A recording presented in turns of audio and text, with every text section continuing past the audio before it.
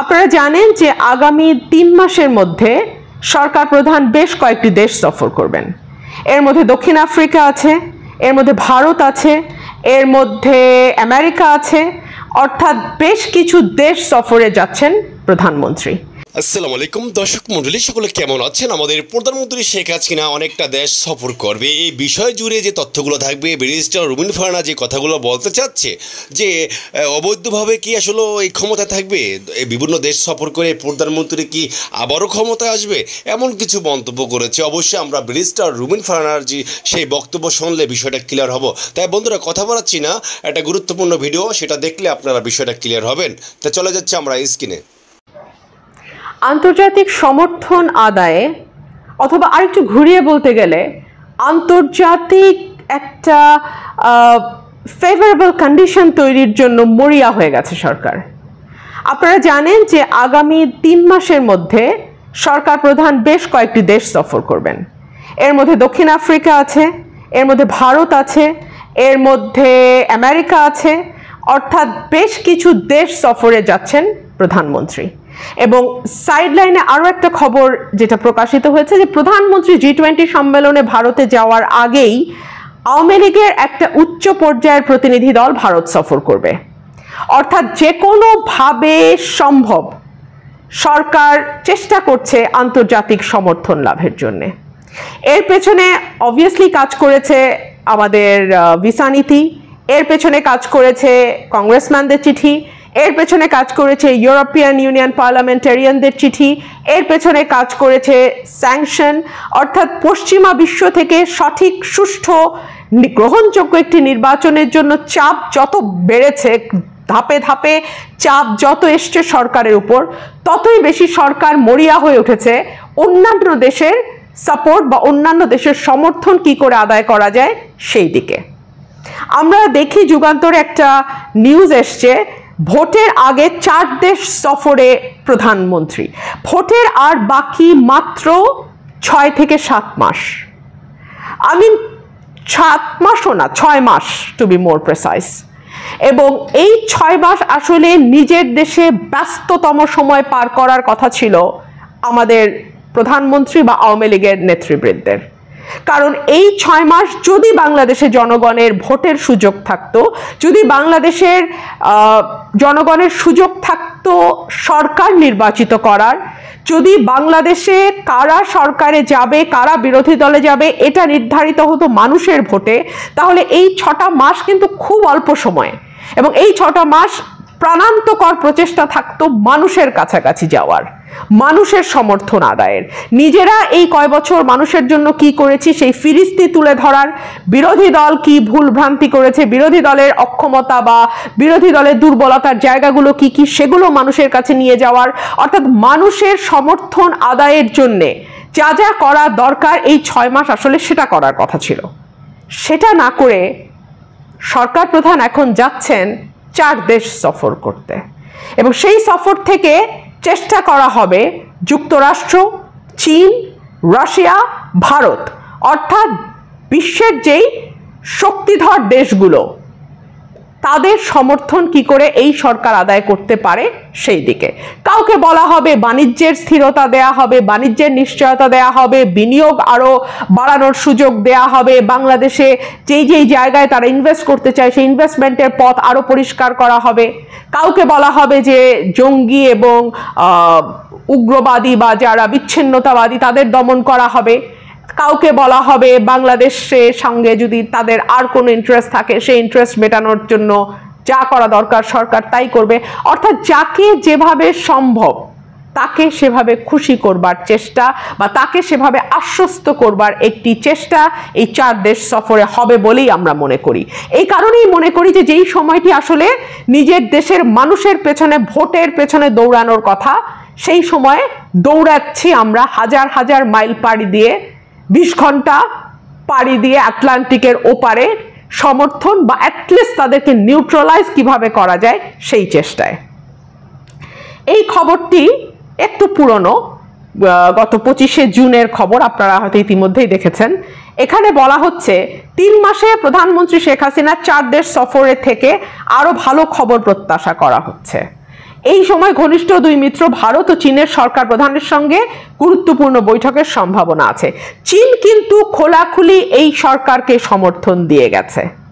যখনই যুক্তরাষ্ট্র থেকে কোনো রকমের কোনো চাপ এসছে চাপ বলতে সরকারের উপর চাপ না ফর গডসেক একটা অবাধ, সুষ্ঠু, নিরপেক্ষ নির্বাচনের চাপ। মুশকিলটা হচ্ছে অবাধ, সুষ্ঠু, নিরপেক্ষ নির্বাচন হলে সরকার আর থাকে না। সুতরাং এই চাপ আলটিমেটলি বলা হচ্ছে সরকারের উপর চাপ। আসলে একটা সুষ্ঠু নির্বাচন যেই দেশে হয়, ভালো নির্বাচন যেই দেশে হয়, সেই দেশে কিন্তু এটা সরকারের উপর চাপ হওয়ার কথা না। এটা বরং একটা পজিটিভ স্টেপ হওয়ার কথা যেটা আরও বেশি সুষ্ঠু, আরও বেশি সুন্দর নির্বাচন করতে সরকারকে সাহস দেবে। মুশকিল হচ্ছে এই সাহ, এই সরকার হলো চোরের সরকার। এরা আসছে চুরি করা। সুতরাং এই চাপ তারা মনে করতেছে তাদের উপরে। সুতরাং তারা ভিসা নীতি নিয়ে যতবার বা অন্যান্য যেই চাপগুলো মানবাধিকারের উপরে, সরকারের উপরে এসছে, ততবারই আমরা চায়নাকে দেখেছি খুব শক্ত ভাষায় সরকারের পক্ষে দাঁড়াতে। এবং চায়নার কথা খুবই টিপিক্যাল কথা। জাতীয়তাবাদ এবং উগ্র জাতীয়তাবাদকে উস্কে দেয়া, স্বাধীনতা সার্বভৌমত্বের প্রতি সম্মান প্রদর্শন, একটি দেশের আভ্যন্তরীণ বিষয়ে নাক না গলানো ইত্যাদি ইত্যাদি। এই কথাগুলো একেবারে সেট কথা, এগুলো চায়না খুব শক্তভাবে বলে এসছে এবং এতই মানে খোলাখুলি চায়না বলেছে যে এক পর্যায়ে সরকারকেই আবার পাল্টা বিবৃতি দিতে হয়েছে যে বাংলাদেশের স্বাধীনতা, সার্বভৌমত্ব এবং বাংলাদেশের আভ্যন্তরীণ বিষয়ে সকলকে মানে রেসপেক্টফুল হবার জন্য তারা আহ্বান জানিয়েছে।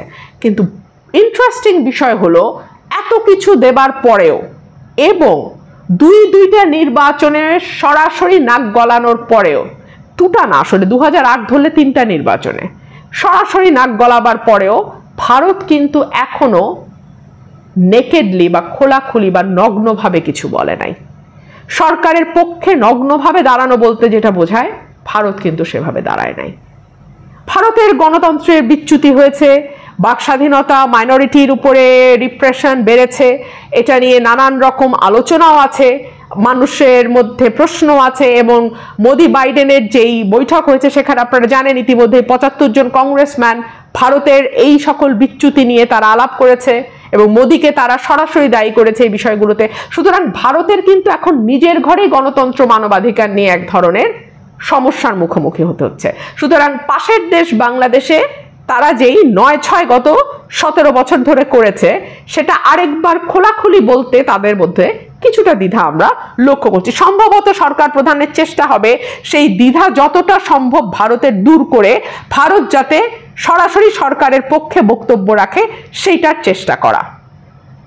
বলা হচ্ছে ঘনিষ্ঠ দুই মিত্র ভারত ও চীনের সরকার প্রধানের সঙ্গে গুরুত্বপূর্ণ বৈঠকের সম্ভাবনা আছে। একই সঙ্গে আমেরিকা এবং রাশিয়ার সরকার প্রধানের সঙ্গে দেখা ও কথা হতে পারে প্রধানমন্ত্রী শেখ হাসিনার। আপনারা জানেন যে কিছুদিন আগে প্রধানমন্ত্রী যুক্তরাষ্ট্র সফর করে এসেছেন। বিশ্বব্যাংকের একটা অনুষ্ঠানে উনি যোগ দিয়েছেন। যেই ধরনের অনুষ্ঠানে সাধারণত সরকার প্রধানরা যোগ দেন না। এবং ফিসফাস আছে যে সেই সময় তিনি যুক্তরাষ্ট্রের গুরুত্বপূর্ণ ব্যক্তিদের সঙ্গে দেখা করবার প্রাণান্তকর চেষ্টা করেছেন এবং নানানভাবে চেষ্টা চরিত্র হয়েছে যাতে একটা উচ্চ পর্যায়ের বৈঠক করা যায়। কিন্তু সেই বিষয়ে সফল হয়নি এবং হয়নি বলেই আমরা সরকারকে দেখেছি তার পরপরই যুক্তরাষ্ট্রের ব্যাপারে অত্যন্ত শক্ত ভাষায় বিবৃতি দিতে, অত্যন্ত খোলাখুলি যুক্তরাষ্ট্রের সমালোচনা করতে। যাই হোক, সরকার আবারও চেষ্টা করছে আমেরিকার সঙ্গে যাতে আমেরিকার উচ্চ পর্যায়ের কর্মকর্তাদের সঙ্গে, বাইডেন প্রশাসনের কর্মকর্তাদের সঙ্গে একটা বৈঠক করা যায়। সরকার প্রধান ইটালি, দক্ষিণ আফ্রিকা ভারত এবং আমেরিকা সফরে যাবে জুলাই, আগস্ট ও সেপ্টেম্বরে। চিন্তা করেন, ডিসেম্বরের শেষ বা জানুয়ারির শুরুতে নির্বাচন। এই সময়ে যারা আসলে এতদিন ধরে সরকারকে ক্ষমতায় এনেছে, রেখেছে, হয় চুপ থেকে কিংবা সরাসরি সরকারের পক্ষে দাঁড়িয়ে। সরকার চেষ্টা করছে আবারও তাদের হাত পা ধরেই যাতে ক্ষমতাটা টিকিয়ে রাখা যায় সেই চেষ্টা। একেবারে সেই চেষ্টা। যখন তাদের নির্বাচনী সভা বা মানুষের দোরগোড়ায় যাওয়ার কথা, সেই সময় তারা যাচ্ছে বিদেশের দরজায়।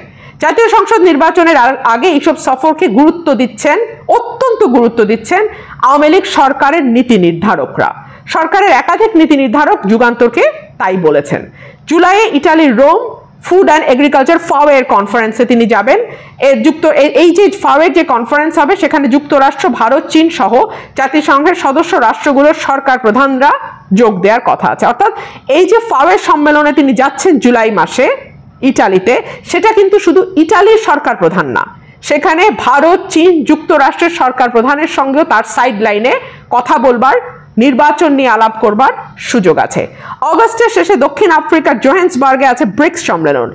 ব্রিক্স সম্মেলনে আপনারা জানেন, সেখানেও ভারতের নরেন্দ্র মোদী এবং চীনের প্রেসিডেন্ট শি জিনপিং এর সঙ্গে তার দেখা হবে। সুতরাং, রোমে যেমন দেখা হবে, ইটালিতে যেমন নরেন্দ্র মোদী এবং শি জিনপিং এর সঙ্গে তার সাক্ষাৎ হওয়ার সম্ভাবনা আছে, একইভাবে অগস্টের শেষে একই সেই নরেন্দ্র মোদী এবং শি জিনপিং এর সঙ্গে তার দেখা হওয়ার কথা আছে।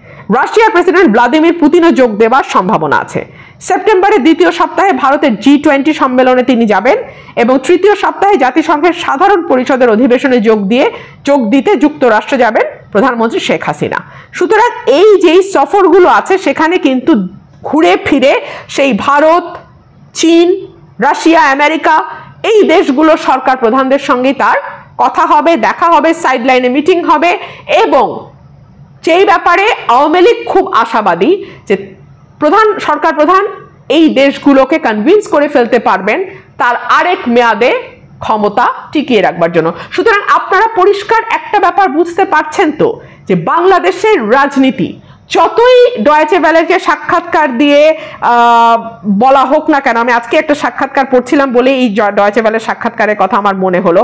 সেখানে বলা হচ্ছে বিদেশিরা কখনোই আমাদের সমস্যার সমাধান করতে পারেন এবং বলছেন মুন্তাসির মামুন, যিনি ভীষণভাবে আওয়ামী লীগের একজন পেট বুদ্ধিজীবী মানে বুদ্ধিজীবী শব্দটা আসলে ওয়েল এখন আমরা তো বলি আর কি। আওয়ামী লীগের একজন পোষা বুদ্ধিজীবী হিসেবে যিনি পরিচিত, তিনি বলছেন বিদেশিরা কখনোই আমাদের সমস্যার সমাধান দিতে পারেন নাই। মানে এক পাশে এই ধরনের বুদ্ধিজীবীরা এই বয়ানগুলো দিতে থাকবেন, আরেক পাশে আমাদের সরকার, বর্তমান সরকার বিভিন্ন দেশে ঘুরে ঘুরে পা চেটে চেটে চেষ্টা করতে থাকবে যাতে ক্ষমতাকে প্রলম্বিত করা যায়। এবং এই সফট ফোর্সগুলো যারা আওয়ামী লীগের দীর্ঘদিনের সাথী, তারা বাজারে একটা বয়ান ছড়িয়ে দিতে থাকবেন যে আসলে বিদেশি শক্তির দ্বারা ক্ষমতায় থাকা বা আসা যায় না। কিন্তু আসবেন আদতে এই সম্মানিত দর্শক মন্ডলী এই ভিডিও জুড়ে ব্রিজটা রুন ফানা যে তথ্যগুলো দিয়েছে যে আমাদের প্রধানমন্ত্রী শেখ হাসিনা বিভিন্ন দেশে সফর করবে। যেহেতু দক্ষিণ আফ্রিকা, আমেরিকা এমন কিছু তথ্য দিয়েছে যে বিভিন্ন কয়েকটা দেশ সফর করবে। মূলত এই বিষয় জুড়ে যে তথ্যগুলো পেয়েছেন, এই সম্পর্কে আপনাদের কি বলার আছে? অবশ্যই বলতে পারেন মেসেজ করে জানাতে পারেন আপনাদের সেই মূল্যবান বক্তব্যগুলো। বন্ধুরা সবাই ভালো থাকবেন। আল্লাহ হাফেজ আসসালামু আলাইকুম।